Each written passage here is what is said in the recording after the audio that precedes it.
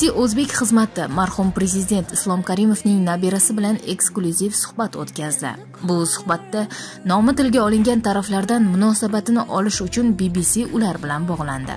So'nggi hafta kunlarida marhum prezident islom karimovning to'ng'ich qizi gulnora karimovaning taqdiri matbuot vositalari va ijtimoiy tarmoqlarda keng muhokama etilmoqda. Uning zaharlanib o'ldirilganligidan tortib to shu kunlarda ilk bor jamoat oldida bayonot bilan chiqishiga qadar xabarlar va gulnora karimovaning o'g'li islom karimov bilan uchrashib bu xabarlar va kengroq olganda gulnora karimovaning qayerdaligi qay ahvolda ekanligi u bilan o'g'li qanday vositalar orqali aloqadaligi karimovlar oilasidagi hozirgi ahvol haqida so'ragan. Uning o'zini sud qilishmagan lekin uning do'stlari jamg'armalari xodimlari sudga tortilgan. Gulnora karimovaga esa ator shaklidagi qog'ozda na qo'l qo'yilgan na kimdanligi aniq bo'lgan aybnoma topshirilgan. Onangiz qay sharoitda saqlanyapti degan savolga islom karimov bunday dedi. Oyim o'zi yashab kelgan uyda bekami ko'z yashamoqda degan yanglish fikr bor. Eng boshidayoq uni berkitib oyimni bir xonaga joylashtirishgan. Uyga qo'shib qurilgan ikki uchta xona bor. Oyim o'sha yerda saqlanyapti unga bir marta pulini to'lamasangiz ovqat berolmaymiz deyishgan. Unda oyim uyni olib beringlar pulni olib chiqay deb so'ragan. Yo'q uyni ocholmaymiz pulni toping pulni topish sizning muammongiz deb javob javob qilishgan. Gulnora karimova gulnora karimova bilan uchrashish imkonlari haqida gapirib uning o'g'li mana bunday javob berdi. Uyga yaqinlashaman yoki uni ko'raman degan odam darhol hibsga olinadi va gvardeyskiydagi hibsxonasiga olib ketiladi. Singlim ham ko'chada tursa iltimos bu yerda turmang kiring darvozaning oldida turmang deyishadi. Ularga oyda bir marta biri biri bilan ko'rishishga ruxsat beriladi. Bu ham har doim emas ba'zida yo'q bugun siz kiradigan kunmas deyishardi. Islom karimovning aytishicha uning singlisi 18 yashar imon hozirda toshkentda. Singlim hozir turkiston mehmonxonasida yashayapti. Fevralda uni oyimdan ajratib shu mehmonxonaga joylashtirishgan. U erkin harakat qilishi mumkin lekin o'sha yerda uxlashi kerak. U oyimsiz bir joyga borolmaydi. Uni mamlakatdan chiqarib yuborishmoqchi bo'lishyapti lekin u oyimsiz hech qayerga ketmoqchi emas. Chunki agar u ketsa va oyimga biror narsa bo'lsa hech kim guvoh bo'lolmaydi. Hech kim u bilan muloqotda bo'lmaydi. Chunki menda ham bevosita aloqa yo'q oyim bilan. Agar unga bir kor hol bo'lsa buni biladigan yagona odam singlim bo'ladi. Gulnora karimova hozirda tirikmi? O'g'li gulnora karimovaning tirik yoki o'lik ekanligini bilmasligini aytdi. Islom karimovning bbcga aytishicha uning onasi bilan aloqasi bilvositadir va singlisi bilan bir qatorda onasi atrofidagi xayrixoh odamlarga bog'liq. Onasining shu kungi ahvoli haqida gapirar ekan islom karimov bunday dedi. Ularda oyimni yo'q qilish rejasi bor. Qanday yo'l bilan buni amalga oshirishadi men ayta olmayman. Bu ularning rejasi. O'ylashimcha zaharlashmoqchi. Keyin kimnidir ayblashadi. Ular oyim ozod bo'lishini xohlashmaydi chunki keyin ko'p savollarga javob berishga majbur bo'ladilar. Bu savollarga esa hech kim javob bera olmaydi. Chunki nafaqat bizga balki atrofimizdagilarga qarshi bo'layotgan ishlarni hech kim qonun izohlab bera olmaydi xalqaro hamjamiyatidan e'tibor kuchaysa uni ko'rsatishga tirik ekanini namoyish qilishga majbur bo'ladilar. Eslaysizmi o'tgan yil bobom infarkt bo'ldi degan gap tarqalgandi. Keyin u qozog'iston tashqi ishlar vazirlik vakili bilan uchrashdi. Ya'ni bir hafta ichida uni ko'rsatib mishmishlar puchga chiqarildi. Oyimning ahvoli ham shunga o'xshash u yo'q qilindi degan mishmish bor. U tirik ekani haqida ishonchli ma'lumot yo'q dalil isbot yo'q. Uning o'zi bilan gaplashmay ovozini eshitmay qanday qilib biror birovga ishonay? Gulnora karimova nomidan yozilgan akkauntlar. O'limidan so'ng ijtimoiy tarmoqlarda gulnora karimova nomidan bir qancha akkauntlar paydo bo'ldi.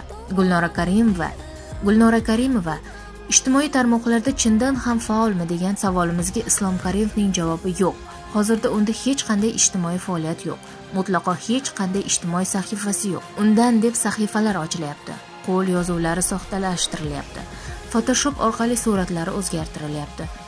Buning bari uning o'zini unga bo'lgan qo'llab quvvatlovni izdan chiqarish maqsadida qilinyapti. U yerda yomon gaplar yozilgan.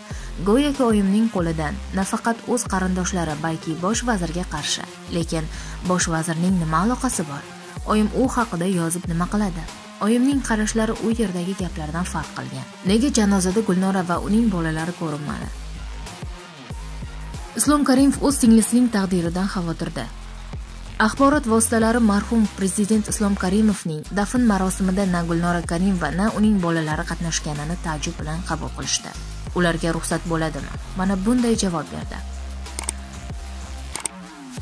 Oyim va singlimdan tashqari menga bobomdek yaqin odam yo'q edi. Lekin bilardim agar borsam bizga yakun yasalardi kamida ikki uch marta odamlar snb va oila a'zolarimdan eshitdimki agar men u yerda bo'lsam uchovimizni ham darhol yo'q qilisharkan. Oyim bilan singlimga ziyon qilishmayotganining sababi ular bilishadiki bu yerda vahima boshlanadi. Agar men u yerga borsam uchovimizni ham yo'q qilishardi va besh olti yildan keyin e'lon qilishardi. Tog'dan yiqilib o'lishdi yoki shunga o'xshash. Men-ku mayli nega singlim va oyim toshkentda bo'la turib bobom bilan vidolasha olmadilar? Butun umr yonida bo'lishgan. Bu axir oddiy inson insoniy hurmat. Vidolashuv buni hech qachon tushunmaymiz. Opa singil raqobatida bobomni ayblayman.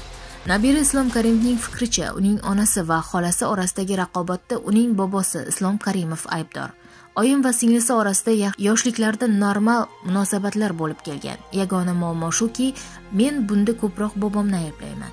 Chunki oyim matematika maktabini oltin medal bilan bitirgan. Bobomning izidan borgan.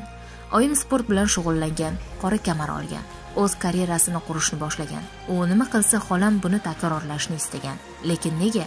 O'ylaymanki sababi bobom butun umr xolamga gapirgan. Nega opangga o'xsholmaysan? Nega mana buni qilolmaysan? Nega yaxshi o'qimaysan? Nega u bo'lolmaysan? Men o'z qizlaringga bunday munosabat qilish noto'g'ri deb bilaman. Shuning uchun bu uning aybi deb o'ylayman. Lekin fakt shuki bu unga ta'sir qilgan. Xolam butun umr buni eshitgani uchun unda kompleks paydo bo'lgan. Mana hozir jamg'arma tuzilibdi. Mamlakatda hamma biladiki bizda jamg'arma allaqachon bor edi. Jurnal ham bor edi. U ham jurnal chiqaryapti. Buni isbotlashga ham hojat yo'q. Butun umr o'zaro poyga bo'lgan.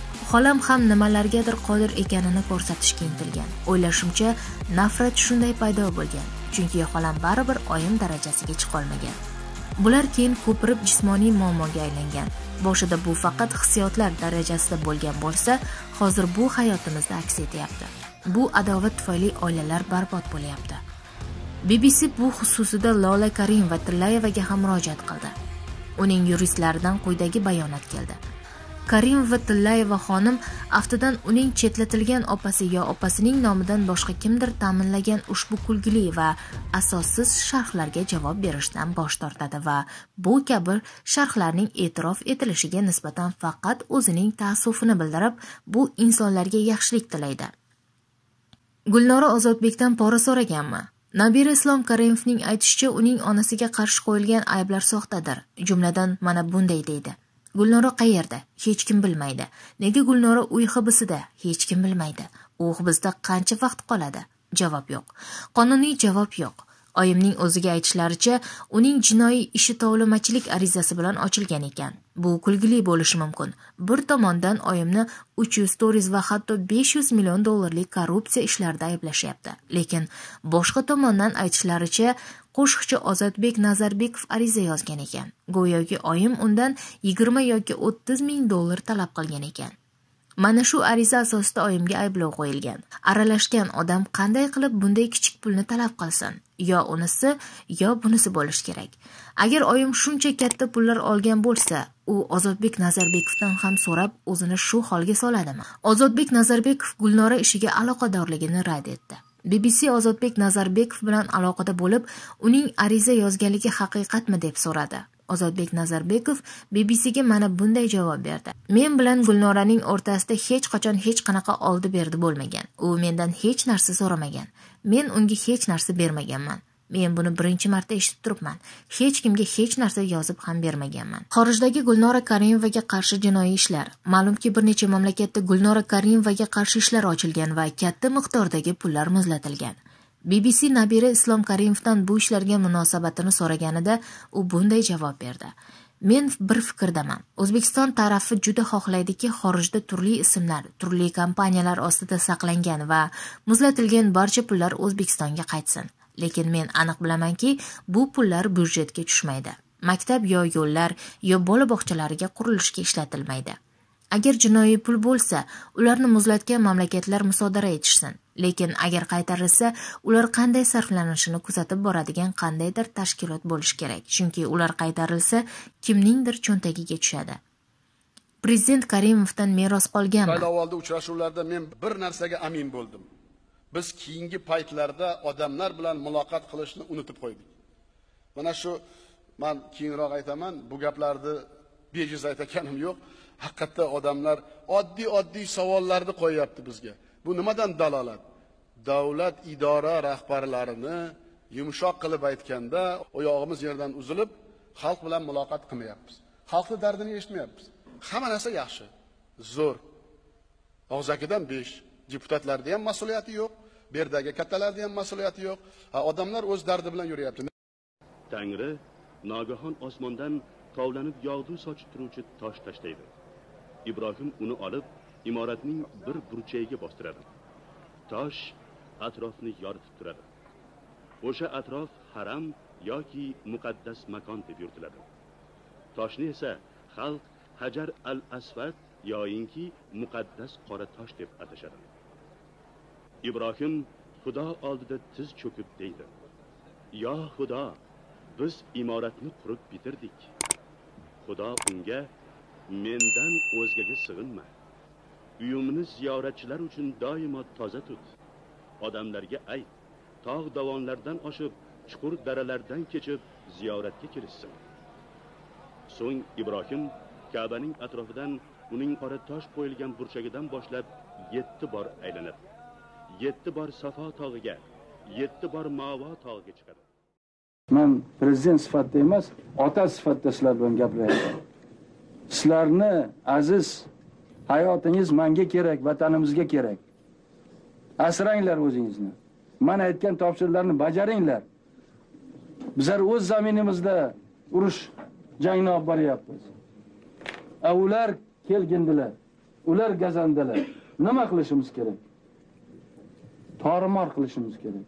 Shunday qilishimiz kerakki birontasi qo'limizdan chiqib ketmasin. Man agar yoshroq bo'lsam agar man shuni ochiq aytaman. Man sizlarni safingizga kelib o'zim o'tirardim.